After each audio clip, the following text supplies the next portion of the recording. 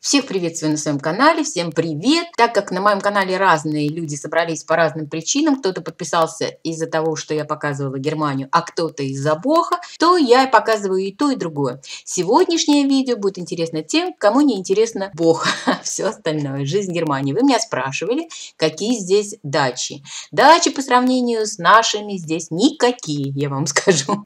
Но в то же время они есть, и, и сегодня я вас приглашаю к нашим друзьям на дачу дачку, где мы проводим часто, а тем более сейчас, свои выходные. Огромное преимущество этой дачи в том, что она находится в пяти минутах езды от дома, поэтому здесь особо никто не ночует, а только грилят, коптят рыбу и отдыхают в свое удовольствие. У нас эти дачки, как правило, находятся в горах. Воды каких-либо водоемов, где можно искупаться, конечно, нет. Вот этот участок, который вы сейчас видите, и вот этот маленький домик с этой пристроечкой обошелся нашим друзьям в 15 тысяч евро. Солнечные батареи это они покупали сами, вы на них внимания не обращайте. Но при этом они не имеют права здесь ничего построить и ничего поставить. Представляете себе, в прошлом году у них стояли две сборные теплицы купленные, их заставили их разобрать, потому что это запрещено. Я, как многолетняя походница, обожаю еду, приготовленную на дровах. Так вот, у них есть такая печка, которая топится дровами. И замечательно вкусная еда получается в этой печке приготовленная. Ну и, конечно же, либо коптим рыбу, либо делаем мясо, либо шашлык. Шашлык это, конечно, вкуснее намного, чем грильное мясо, но грильное мясо делается быстрее, но, к сожалению, менее удобно, потому что оно подгорает, за ним нужно постоянно следить, переворачивать и так далее. А когда делается шашлык, то это все делается на электрической такой приставочке, которая сама крутит шампура. Очень вкусно делать молодой картофель на шампурах вместе с салом. Это обалденно, если вы еще не пробовали, я вам рекомендую, вас потом за уши не оттянешь, и не нужно будет вам никакое мясо. Вы будете есть только вот такую картошку. Для тех, кто еще не пробовал и не делал, быстренько быстренько-быстренько рассказываю. Берете мелкий молодой картофель, разрезаете сало на маленькие квадратики и таким вот образом на шампур натыкаете, перемежая между собой картофель и сало. Ой, ребята, я забыла предупредить всех тех, кому противопоказано категорически сало, по вероисповеданию. Закрывайте быстренько глаза и носы или перелистывайте эту страницу, быстро-быстро перематывайте, чтобы она не портила вам настроение. Ну а все остальные через экран могут вдохнуть этот аромат обалденно вкусный и насладиться видом этой прожаренной картошечки. Но самое главное удовольствие, ради которого мы все туда приезжаем, это баня. Ну, так как в Германии все постройки запрещены, а я уже не говорю про баню, это вообще категорически, то наш друг в этом году приобрел вот такую разборную палатку, баню. Обошлась она, ну, кажется, в тысячу евро, но это сказка, ребята. Примерно такие бани мы устраивали с ребятами-походниками и на Вуоксе, и на Ладоге. Это сказка, ребята, это просто чудо. Но наши походные бани были, конечно, попроще, печка там выкладывалась из камней, собранных на берегу, и приходилось ее топить целый день ребятам, потому что когда эти будут раскаленные камни, на которые мы потом будем поливать отвары трав, Здесь же к этой бане прилагается из нержавейки чудесная печка, которая очень быстро растапливается дровами, там под 100 градусов жары. В общем, ребята, венички дубовые и березовые, это все настолько расслабляет, настолько вообще приводит в чувство, что потом летать просто хочется, поверьте мне. Тут же есть душик с холодной водичкой, где ты ополоснешься, потом отдыхаешь, сидишь на улице, потом опять идешь паришься. В общем, я себя чувствую после бани, как героиня Ренаты Литвиновой из «Границы таежной романа», из фильма, где она сидела и говорила «Девочки, я в раю». Вот примерно точно так же.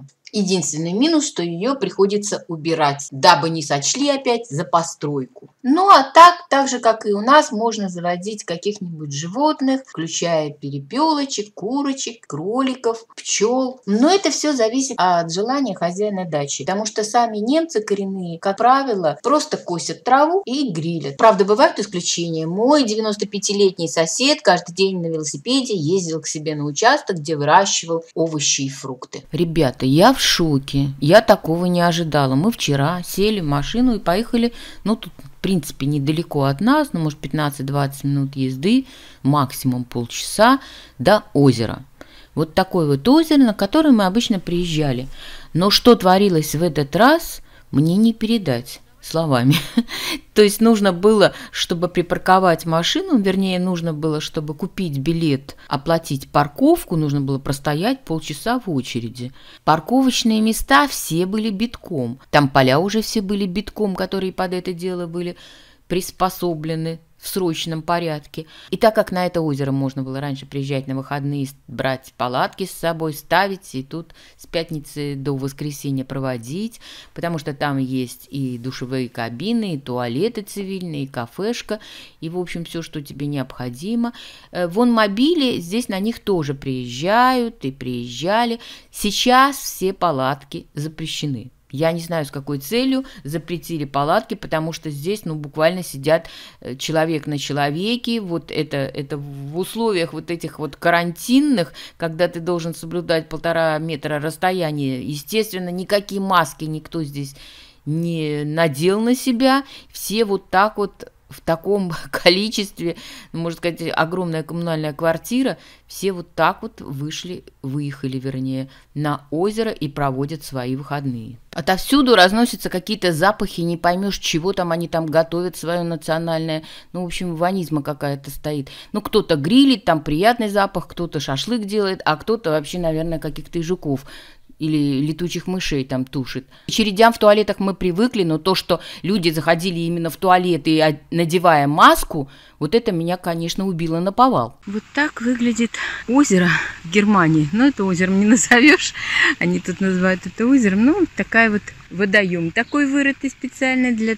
Тут выращивают форель. И вот здесь можно ловить рыбу. Ну, предварительно, конечно, заплатив за это. И не просто заплатив, нужно еще заплатить сначала и получить права и так далее. Если ты не умеешь насаживать правильно червяка, то это тебе не разрешат. Короче говоря, это стоит больших денег. Потом ты ловишь здесь рыбу и опять-таки платишь. Вот такие вот здесь несколько их, наверное, озера, где выращивается вот эта форель. Сейчас вечер, я поехала на велосипеде. Но я люблю это место. Я проезжаю мимо него на другое озеро катаюсь. Но мне здесь очень нравится. Знаете, можно просто взять стульчик, посидеть и вот так вот, успокоившись, наслаждаться природой как японцы это делают. Какая красота. Там еще за этим еще одно. А дальше вот там еще одно такое вот озеро. Озером язык не поворачивается называть. Ну, вот такие вот водоемы делают рыбу. В общем, здесь их штучек 5, наверное. Но я, как вы видите, не вижу ни одного рыбака. Хотя, по идее-то, они вечером же должны ловить. Хотя здесь маленькие водоемы, где специально выращиваются, тут, наверное, все равно. Кстати, ну, опять-таки, если ты поймал, ты можешь вот там вот, кафешка такая есть, тебе ее на гриле приготовят, и можешь сразу ее и съесть, если есть желание. А у нас это все бесплатно можно, лови не хочу. Так что, ребята, рыбаки, все цените то, что есть возможность вот так, не надо никаких прав за 2000 евро получать, не нужно платить за то, чтобы тебе что-то поймать, а на любом озере, пруду, в реке можно ловить и ловить себе рыбку. Это я приехала, ребята, на озеро, где все купаются. Здесь только озеро, здесь можно и в теннис поиграть, кто хочет, кто любит. Вот там есть э, домик такой справа, там кафе и туалеты тоже там. Здесь вот как раз здесь называют озеро, но оно искусственное озеро, вырытый водоем со стоячей водой. И вот и дальше там я туда уже не иду, там вот загорают, лежат вдоль этого озера. Ну, чтобы иметь представление. Вот. А здесь вот вы видите, это прямо сразу напротив, это детская площадка. Здесь дети могут лазить, пока их родители загорают, плавают. Все это бесплатно. Народу сейчас уже мало, потому что сейчас уже девятый час, ребята. Я поехала просто прокатиться на велике, вот вам показываю. Поэтому уже даже видно, что темнеет. Вот представляете, вчера он здесь стоял и сегодня стоит. И вы думаете, он не живой? Знаете, почему он здесь? Потому что здесь рыбы много. Здесь разводят форель. Деловая колбаса. Такой походочкой, слушайте, пошел. Не улетай только. Ходить ходи, но не улетай. Он, видно, почувствовал, что его снимают. Вот прямо так вот важно, важно зашагал. А, знаете, кого он мне напоминает? Какого-то клерка, какого-то руководителя вокруг озера. Слушайте, такой марафон совершает. Его э, вечерний мацион, прогулка вокруг озера. Долго он так стоял, не шевелился. Да, может, там что-то отражается в воде. Вот из рыбаков один он. Или это она. Не знаю даже, кто это. В общем, короче, птица счастья. Второй день катаюсь. И вчера же он здесь в это же время был. Я уже просто не стала останавливаться, ехала обратно. А он в это же время был. Каждый вечер сюда прилетает. А рыбы не видно. Темно, мутно. Слушайте, там еще один прилетел. Боже мой. Божья матерь. Ай, что творится-то, ребята? Вы деретесь или целуетесь? Посмотрите, что творится. Я утром посыпаю. Я вчера ну, я на ночь оставила окно, потому что все время окна закрыты. Вот откуда они прилетают с самого утра, я даже не представляю в таком огромном количестве. Я вчера штук 200 поубивала. Да какой 200? На одном окне, наверное, 200. А это во всех комнатах. Это какой-то кошмар. Я сейчас закрою, конечно, срочно, и буду их всех убивать. Но я не понимаю, что происходит. У меня закрыты были все окна, жалюзи. Все абсолютно. Здесь нет вот этих вот вентиляционных отверстий, по которым они могли бы как-то там, знаете, летать. Здесь такого нет вообще, все закрыто, никаких дырок. Но я из комнаты в комнату бегаю, и я их убиваю. Я просто не понимаю, что. Я уже вешала вот эти вот, которые от мух э, липкие, они туда не прилипают, понимаете? Ну, две, три, четыре прилипнет, но их сотнями, сотнями, я просто вообще в шоке. У меня под окнами только трава. Я не знаю, откуда они там берутся, потому что бачки стоят, но они стоят все правее. А тут же они не могут сюда вот прилетать в таком количестве. Короче говоря, хорошо, что я вчера не стала стирать эти э, занавески. Сейчас я их все опять буду убивать всех. Я просто не понимаю, что делать. Может быть, кто-то знает, откуда это такое в этом году. Такой ужас. Это уже вот э, со вчерашнего дня это началось. Со вчерашнего дня. Откуда они? Потому что у нас жара вчера 35 градусов была. Откуда это все? Посмотрите, ребят, какой кошмар. И это еще не конец. Столько же на полу сколько на подоконнике. Еще и на этом осталось. Вон они еще до сих пор, представляете, летают. Я в шоке, я вообще в таком ужасе. Я такого еще не видела. Мне так противно, я их вот бью, я не знаю, откуда они вылезают. Самое ужасное, что непонятно. Когда окна закрыты, откуда они могут лезть, просто непонятно. Ну их еще бить и бить. Я еще думаю, что они в другую комнату полетели там все мыть и стирать. Какой смысл мыть и стирать вот сейчас сразу, когда они еще за день налетят? Представляете, это какой-то кошмар. Ой, все. Вот такая красота сверху. А я бегу с палками и любуюсь лесом. Как на меня все-таки благотворно влияет вот зеленый цвет, зелень природы, это вообще не передать. А тут вот, кстати, ребята, яблоки растут.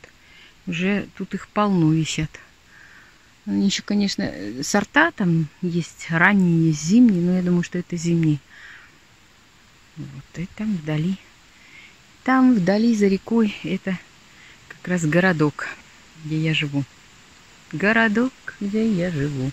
А я вот здесь, здесь побежала дальше